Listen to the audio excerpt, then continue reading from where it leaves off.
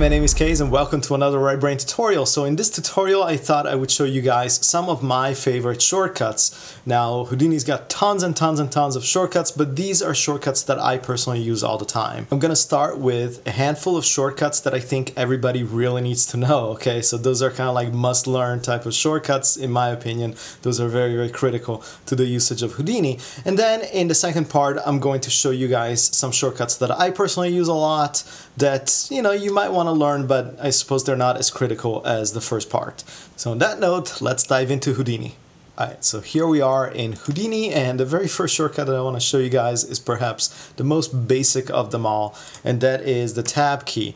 This is how you bring up the list of nodes that are available for you to instantiate in your project. Now you can also get to this menu by hitting the right button on your mouse, but I find tab to be a lot faster and easier. Now, one of the things that I do want to mention about Houdini is that shortcuts can work differently depending on where your mouse pointer is on your Houdini window. Right now, my mouse pointer is in my network panel, and if I hit tab and say I type box, and click on my mouse, now I have a box that was created exactly at the very center of my project, okay? So this box exists at 000, which is the origin point of my grid. However, let's get rid of this box right now and I'm gonna do the same thing while my mouse is somewhere in my viewport. So I'm gonna hit tab, type box, and now instead of automatically generating a box at the origin point, it's giving me an option to place a box somewhere on my scene, but not necessarily at the origin point and wherever I can kind of like click on the mouse, that's where it places my box. So keep in mind that shortcuts tend to be contextual on where your mouse pointer is at any given time. Okay, so these next two shortcuts work within the network panel. So how many times has this happened to you that you maybe open like an old Houdini project and you go and look in your network and you can't really find anything. I mean, you know that there's nodes inside your project, you just don't know where they are. Well, it's really simple to just hit H to bring all your nodes within view of your network. So this is really, really handy. So hitting the H key on your keyboard will automatically home in all of the network nodes in your network. Now, as you might notice, this is kind of like a really messy kind of, you know, there's nodes all over the place, okay? Whoever created this uh, particular project was not like the most neat type of person out there. So if you want to quickly organize your nodes and just kind of put them up into like some sort of grid so that they look a little neater, then you would hit the L key, okay? So the L key will automatically organize your nodes into nice little grids and this works both at the object level or at the geometry level or really any other level where you have nodes in Houdini. Okay, I use this next shortcut all the time. Tell me how often does this happen to you? So let's say that you bring in an FBX or an OBJ file, maybe you like purchased uh, some cool model online, and you bring it into Houdini, and then all of a sudden you're looking around your viewport and you're like, where the hell is it? I mean, you know that it must be somewhere in your scene, but for some reason it's not appearing and you're not really quite sure. Are you zoomed in uh, too much? Are you zoomed out? I mean, what the hell is going on? Well, with the object selected and while your mouse pointer is somewhere on the viewport, simply hit the key H to bring your object into the center view of your viewport. Uh, alternatively, you can also hit G and it will do much of the same thing. So now note that in some cases, when you're using shortcuts in the Houdini viewport, you are required to hit the spacebar as well. So in this particular case, spacebar G or spacebar H will also do the same thing. But just keep that in mind in case that G and H don't work by themselves. Hit the spacebar along with G and H and it should bring your model into view in your viewport. Okay, so this next shortcut works within the network panel. So uh, sometimes you might want to disconnect a node from your node tree and one of the easiest things to do is to grab the node with your mouse and start shaking it violently until it pops off from your network. Now this works pretty well provided that you have a mouse with like a large enough like kind of desk that you can kind of start moving your mouse left and right. But like, you know, maybe you don't have a whole lot of desk space or maybe your mouse is not the most responsive thing or maybe you're using like a touch surface and sometimes it can just be like a really, really frustrating thing to do until it finally pops off. So uh, what I use all the time to disconnect nodes is actually hitting the Y key on my keyboard and when I hit the Y you'll see that my cursor becomes a scissor. And now I can simply left click and drag across my node connections and sever all of my node connections very very easily. And I like doing this all the time. And there's also some satisfying kind of element about like kind of dragging that mouse across that connection and cutting it off. Okay, this next shortcut works when our mouse pointer is somewhere over the viewport and the shortcut is D and D basically brings up all sorts of options for our viewport that can come in really, really handy. Say for instance, uh, uh, we don't like this light background and we want to change it to a darker background so we can see our cloud a little bit better. You would go in the background tab and switch light to dark and all of a sudden we can see our cloud a lot better. Or maybe in this particular case, as I get close to my cloud, it starts disappearing and nine times out of 10 that means that my near or far clip planes are set too high or too low. So in that particular case, I would go under the view tab and yes, the near plane is way too high. So let me set it to 0.1 and now I can get a lot closer to my geometry without disappearing. Uh, and of course, there's all sorts of different options that you can access from this particular panel. And I use this all the time. So D will bring this panel up and hitting D again will make it go away. I should also mention that if you hit D when your mouse pointer is somewhere over your network panel, you will also get a set of options for your network this time. Now, this is not as extensive as for the viewport, but nonetheless, it allows some degree of customization for your network node trees. Okay, last but not least on my must-know shortcuts is P. And what does P do? Now, you might have noticed that my particular Houdini layout uh, is to have my viewport on one side and then the whole other half of my screen is devoted to my network. And I find personally this particular layout to be really, really handy when using Houdini because it gives me a good overview of what my network looks like, especially as it starts getting more and more complex, while at the same time giving me enough screen space so I can kind of have like a really nice view of how my geometry is arranged in the viewport. So hitting P while my mouse is somewhere in the network view uh, brings up the different parameters for each node.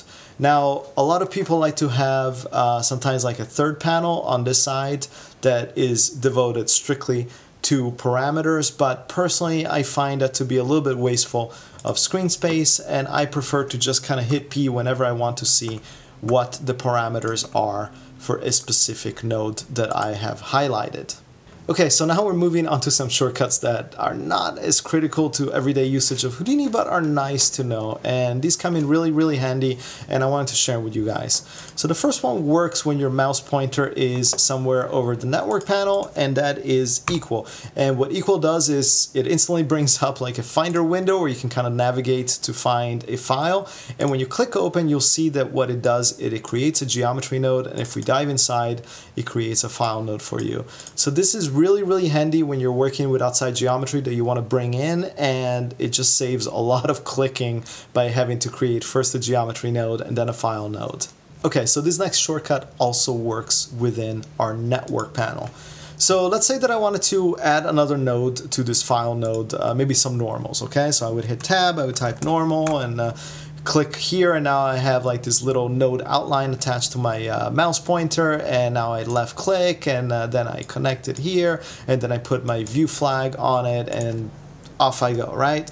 Well, that is entirely too many clicks and too much time wasted just to instance a new node. So let's get rid of it and let's do it again and this time holding down shift. So I'm gonna hit tab, I'm gonna type normal, okay? But before I hit return or enter, I'm gonna hold down shift and then hit return.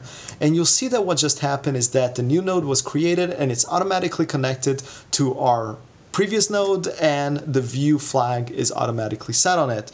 And we can do that uh, again. Let's say we want to add a UV texture. Once again, hold down shift, hit enter, and off we go. Let's say we want to add a null, hit shift and enter. This saves so much time when you're creating your nodes, you have no idea. Okay, so this next series of shortcuts works when your mouse pointer is somewhere over the viewport.